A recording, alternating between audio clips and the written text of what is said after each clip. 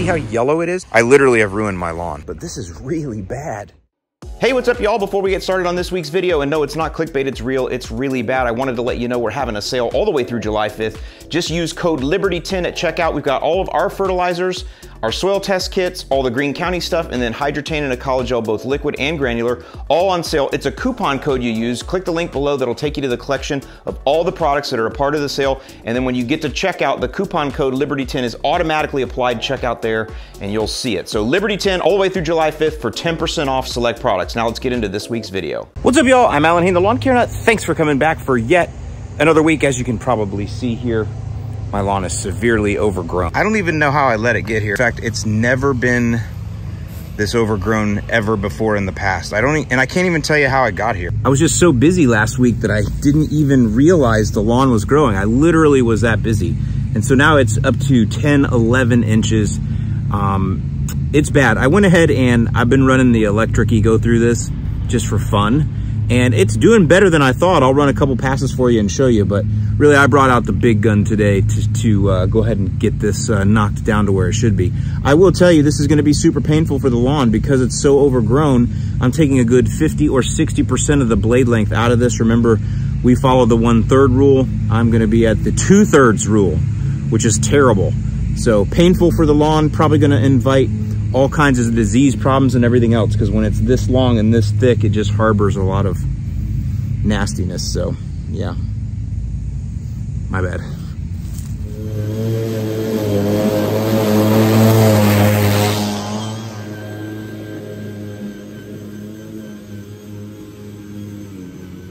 So you can see how overgrown this is. It's terrible. Like I said, 10, 11 inches tall and I did not expect that to be able to go through it. I mean, it did fine, but it's not made for that. We're gonna bust out the big dog over there, the old Kubota, and uh, we're gonna knock this down and stress it out, and then I'm gonna forget about it after that.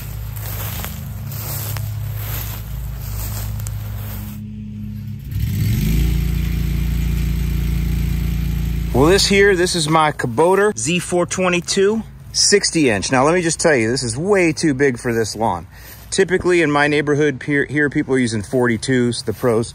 They're using 42s, maybe 54s, but but no, most are at 42. So this is way too big for this lot. But it does have a side discharge, and that's the main thing. I just need to get this cut down because, again, I mean, oh yeah, look. Tons and tons of gray leaf spot. Nasty. So, you know. Anyway, that is actually made in Georgia, made in the USA. And I love this mower. I've been using this out at the Freedom Factory now for two years. Beautiful cut quality, super comfortable. It's like got a bouncy bus seat on it. And I don't know. I don't think they can make a zero turn much better, to be honest with you. So it's going to be fun. I've never mowed my lawn with it this overgrown. So, oh, that's the other thing. I think this thing goes up pretty high.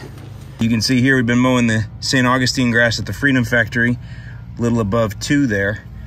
But I think, what is that, four point? Oh yeah, this goes up five.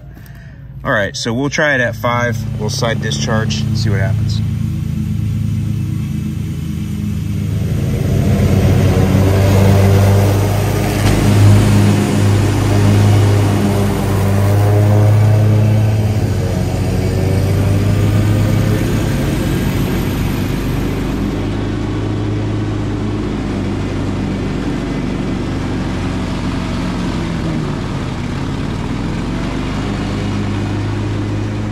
All right, we're definitely gonna have to check out this carnage. Look at this, this is baling hay.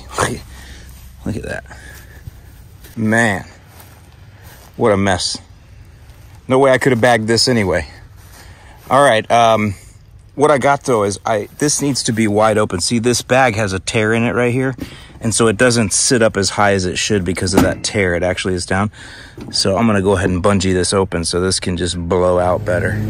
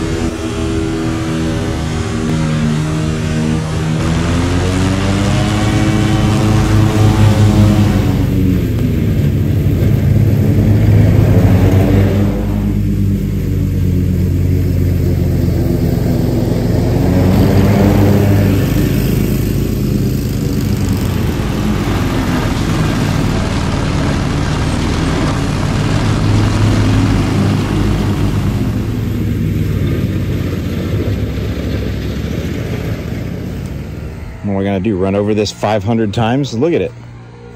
It's just terrible. I bet my neighbors thought I died.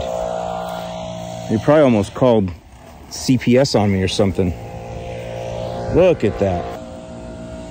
All brown underneath. Look. Uh. Ugh. It's just so wet. Man.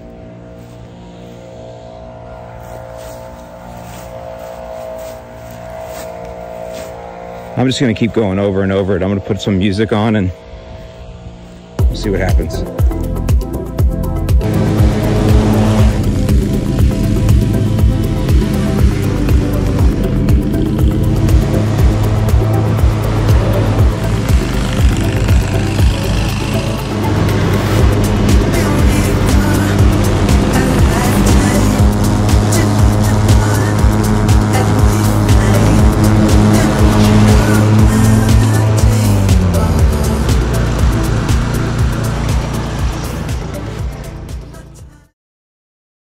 This is this is like turned into one of those videos, you know, where the guys do like the boring channel where they go and they find like a derelict property they, or lawn care juggernaut, you know what I'm talking about? You know, they find like a derelict property and they clean it up. That's that's what this is starting to look like here. Of course, it's side discharge, you know, you see, you, you try to like keep things out of the beds, but when it got this bad, I had no choice. So the beds are covered. That's terrible. But can you see how much hay is out here? I mean, I'm just hoping for more sun to dry it out right now. See that? And it's that thick all the way down. I have I have nowhere to put this. I don't have anything I can do with this. I, I tried like going over it and over it and over it and spreading it around, but it doesn't do anything. So I think what I'm gonna have to do is I'm gonna let, I need the sun. Now the sun is out right now. I need the sun to dry it out and that will help because right now it's clumpy. You know what I mean? Like I was shooting these little clumps everywhere. Look, see the little clumps everywhere? these are these are like little wet clumps of grass that were flying everywhere. Look, they're all down through there. You know, that's funny. I mean, I guess I got to find something funny in this. One thing I did want to show you before I come over here, this is my beautiful Empire Zoysia, also overgrown, but not quite so bad. But look, can you see the yellow in there? That is the St. Augustine grass showing major signs of stress based on the application of quinclorac we put down. It's been four days since the app. And just look at all the stress in the St. Augustine grass, see? Now, the yellow is the main thing you're gonna see, the discoloration. But also, see all the spots on the leaves? People think, oh, that must be disease. No, that's that's also stress. St. Augustine, that's what I mean. Sometimes you guys will send in pictures and your St. Augustine will have brown spots on it. And I'll be like, well, sometimes it's just stress you know and this in this case it's browning up because of the stress of the herbicide so either way you can see it works very quickly. So we've got four days in and we already have visible damage to the st augustine grass. So i think there's a rule on the label that you need to wait two days after you spray to mow and so it's been four. And so we're in good shape. But so far we're seeing quite a bit of damage to the uh, the old st aug over by there. So it's good news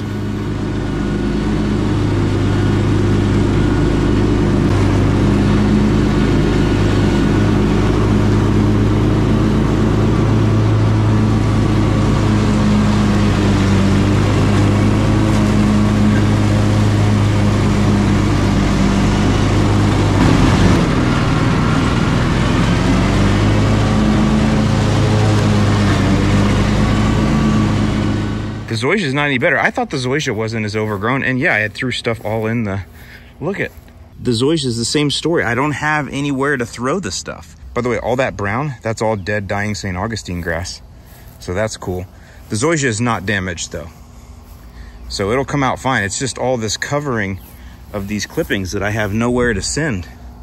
And I have nowhere to spread them out. I'm gonna, I'm gonna run the small mower over all this, but I think I'm gonna let the sun dry it out. You can see the sun's on it now. I'm gonna let the sun dry it out. I'm gonna come back this evening and run over it again, try to spread it out a little more, and then maybe tomorrow I can go over everything with the uh, with the little 22 inch. But man, look at this. I got I have nowhere to put it.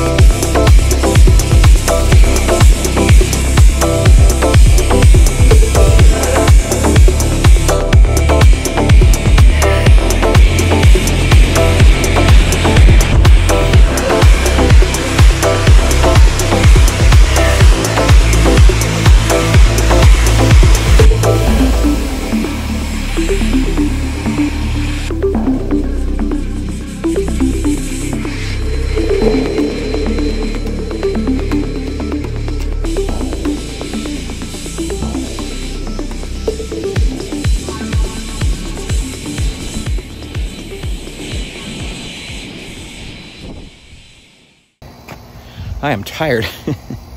the sun's out now, which also means it's very humid and up into the high 80s today, so not too bad, I guess. I literally have nowhere else to blow clippings, so I had to pile them up all along the edge right here until I can come back out here again tomorrow because I got other stuff I have to do. I literally have appointments I have to be to in a half hour. I can't do any more on the lawn, but I'll show you real quick what it looks like. So after going through with the blower, the palmetto took the worst of it. I have a scalp spot right there where the deck collapsed on me, but man, it just looks terrible. All that undulation in there, that's just stuff that's still piled up.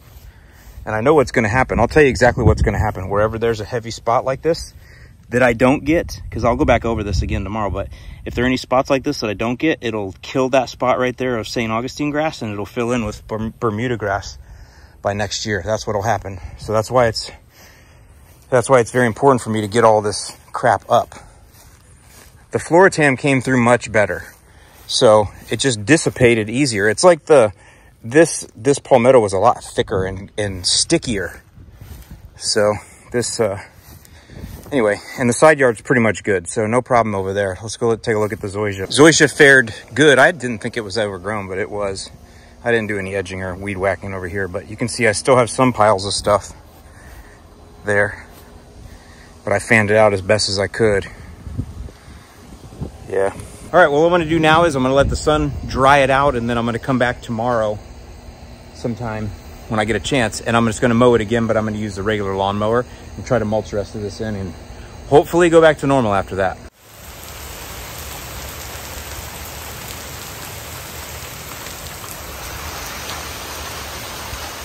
Y'all, I'm gonna be honest with you, this is tragic. It's raining. It's been raining all day. It's like sun showers, right? I can't complain. I need the rain. I love the rain. If you're seeing yellow on this camera, that's because the lawn is yellow. It's scalped. It's, oh, it's terrible. And then look, these spots right here, that this is all matted down now, that area will die and wild Bermuda will move in. And it's everywhere. I, I literally have ruined my lawn. What's strange is the palmetto got it much worse than the Floratam. The Floratam doesn't look bad at all. It's definitely showing some problems, some yellowing, you know, like down in here. But overall, it doesn't look that bad at all. It, it, it took it. So there is a definite growth difference or growth habit difference in palmetto and Floratam. Palmetto, one's a monocot, one's a dicot. I don't know if that makes a difference. It definitely makes a difference with disease resistance and stuff like that. I'm no scientist, as you know, and don't claim to be, but one thing I do know is this grass feels, operates, grows, uh, mows differently than the Floratam does. That I do know from practical experience. So see, look at how good the Floratam even looks right there in that angle.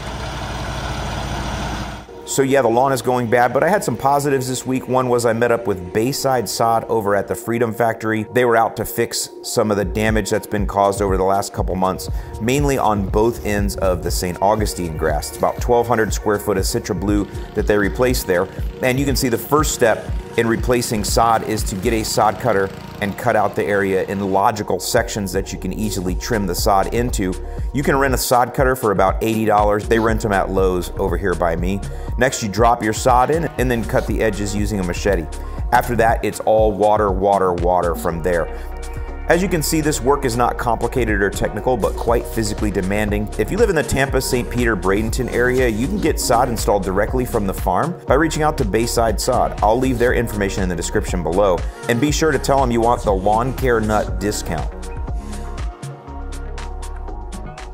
The next thing I wanted to do was go ahead and give you guys a quick update after I sprayed the torpedo grass with the quinclorac. So this is zoysia over here. We're getting good rain too, so over here you can see, can you see where it's kind of yellow in there? That is torpedo grass that is starting to already show signs of damage. Look at this. So here we go.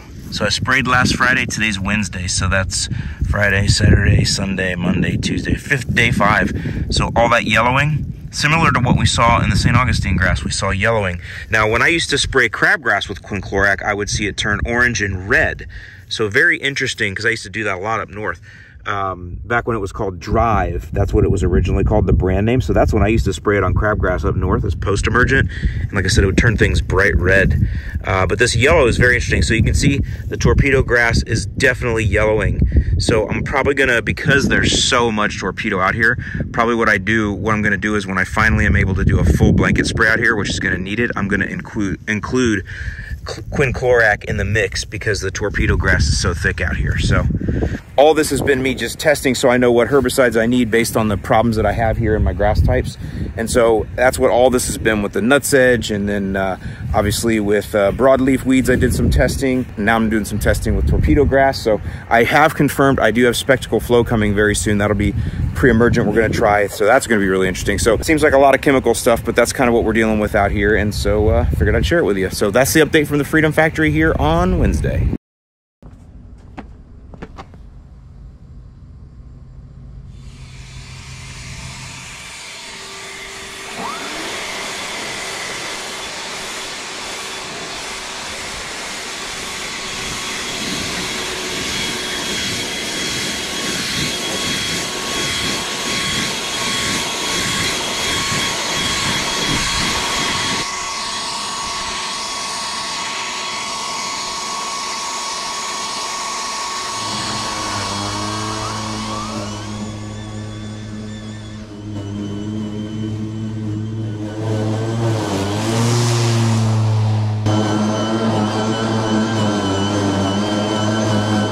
Well, this is gonna be a much bigger mess than I thought.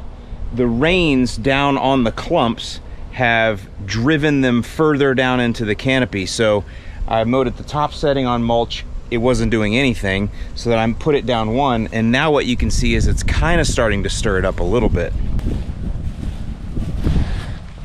So you can see it's pulling the clumps out. So what it is is, see these clumps are embedded down in here. And so what it's doing is it's pulling them out and then it's just dropping them like that. See, that's what's happening. It's just so sticky. It is still wet. It dried out a little bit, but we had so much rain.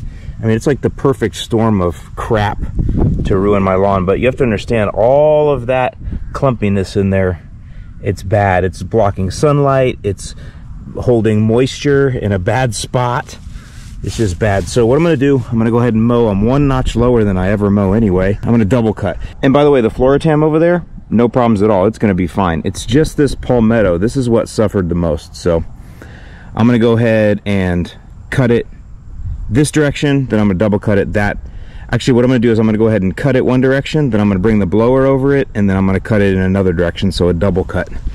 See if we can't get this cleaned out, because you can see, if I leave all these little clumps like this, that is a recipe for just it smothers the lawn. I guess that's the best way to say it is that smothers the lawn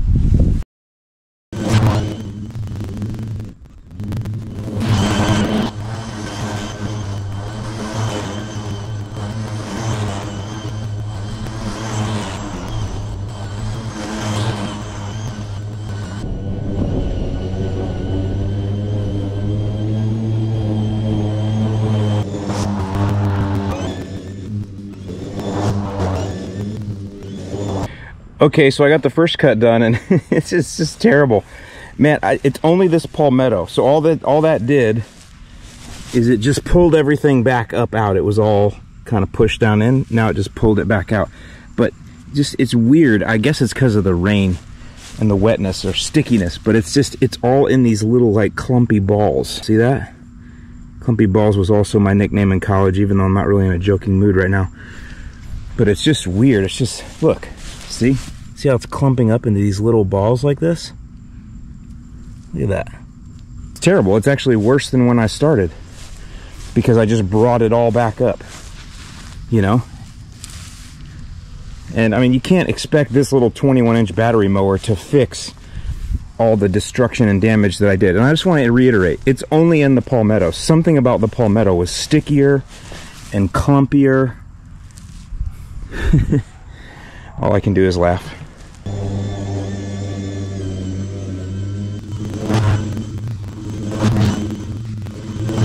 This is so bad. I literally have nowhere to put more clippings. Look at, they're just everywhere. I, I keep saying this, but the camera will not do justice as to how this looks. It is just terrible. I have absolutely nowhere else to put clippings. I just have to hope they melt in. But every time I go over the palmetto, look, it just creates more of these puff balls. Look at that. So, Floratam, perfectly fine. Look, it just absorbed everything. Like there's there's a couple clumps here and there, look, a little bit, right? But the majority of it, it's just good. It's just, it's like, it's like it just absorbed all the crap, but not the palmetto. Oh no. Palmetto wants to just keep throwing up little puff balls everywhere. Look at that. And then you get a bunch of those little puff balls together. And now you just have a recipe for smothering my lawn. Look at I don't I don't know what else to do. I really need the sun to come in here and break up these balls. That's what she said.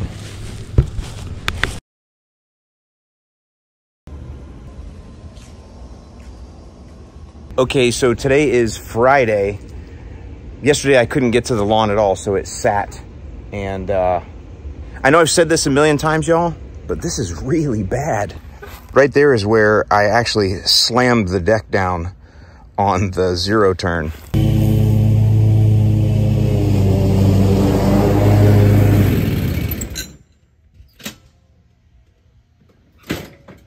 It just, it just dropped, scalped it right there. You can see three bladed, one, two, three, scalp, scalp, scalp. But see what's packed in there? all this dead grass that I left in here. This is the worst. The You can see it's kind of yellow. That's fine. It just needs sunlight. It's stressed. It'll come back. Sunlight's really what it needs. Y'all understand that my natural inclination is just to hammer this with nitrogen, but I can't do that because I'm in fert bans.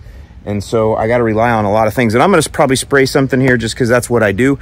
But what I'm going to do today, right now, is uh, continue to try to make myself feel better. And I'm going to get this just cleaned up. I'm just going to mow it again because uh, it's still looking pretty bad. Only the palmetto. Everything else is pretty much fine. Now, the Floratam, I haven't touched this since the scalp day. It's fine. It's just due for another mow. Like, it's just due for a normal mow. It's not overgrown. It's kind of back to normal. I mean, you can see the tips are a little shredded because it was so thick and probably that zero turn needs a sharpening. But uh, Floratam has come through fine. So this is gonna be a normal cut. I'm actually enjoy this mow for sure.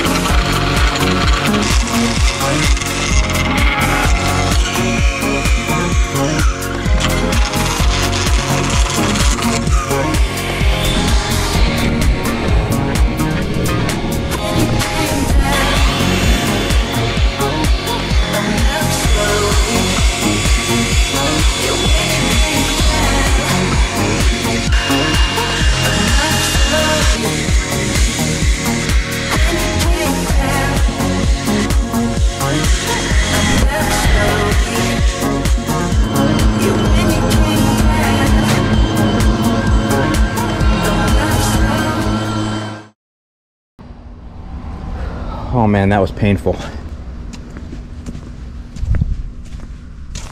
What I really need now is sunlight. Like I said, I got something I'm gonna spray on it tomorrow that I think I hope will help. So another quick update on the St. Augustine though.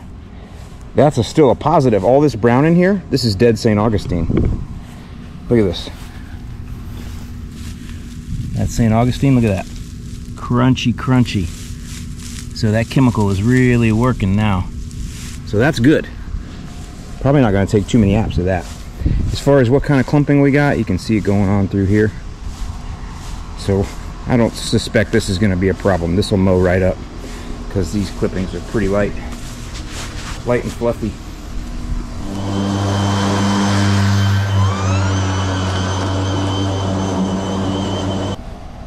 Well, I spoke too soon. Mowing made it worse. Look at that, just kicked it all up into like these windrows. Look at that. There was only like a little bit over there, but it just pulled all this up and just deposited it back on top.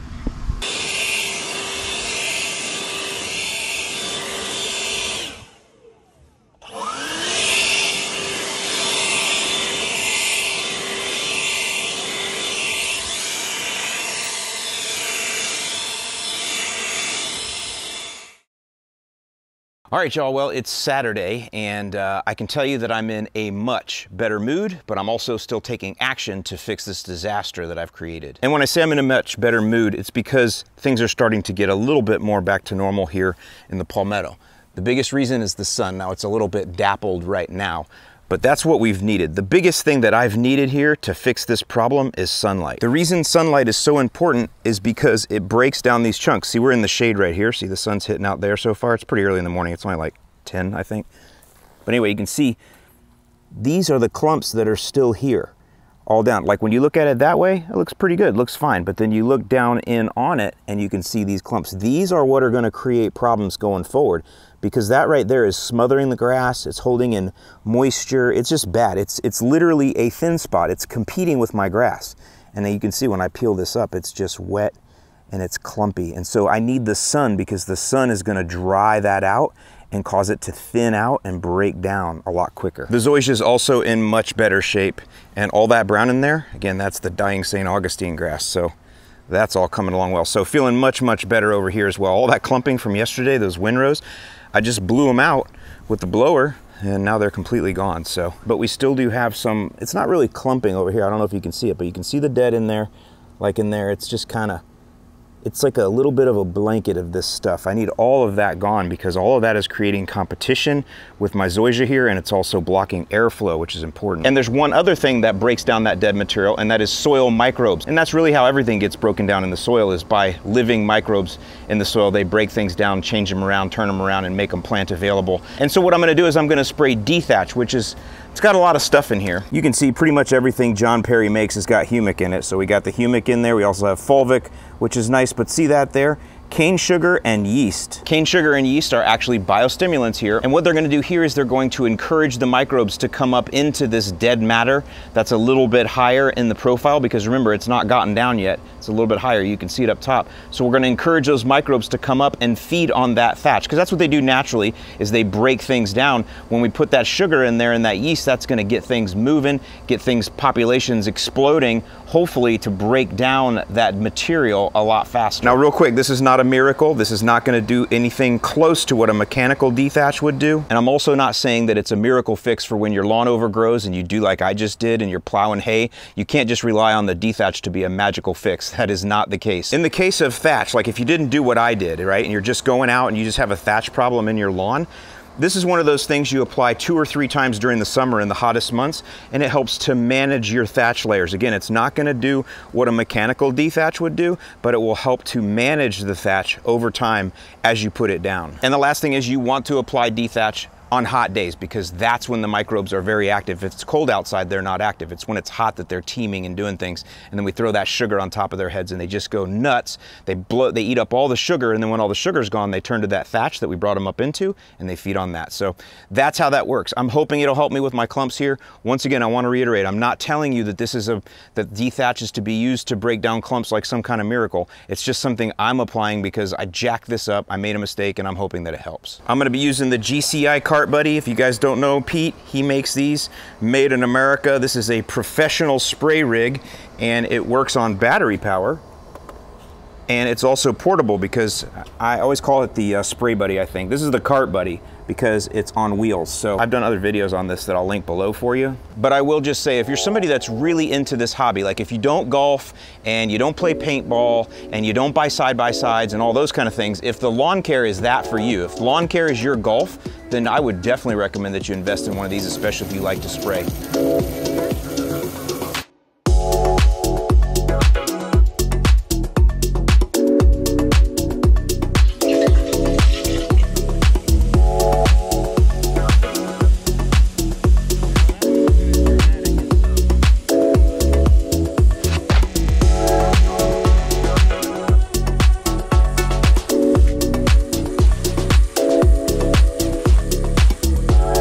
All right, y'all, so that's all I got for you this week. I hope you've enjoyed, and I will continue updating you on how the grass is recovering from all these clumps, but you can see from me working on it all these days this week, it's already looking much better. Thank you so much for watching. I hope you guys enjoy your Independence Day week coming up. Don't blow your fingers off, and I'll see you in the lawn.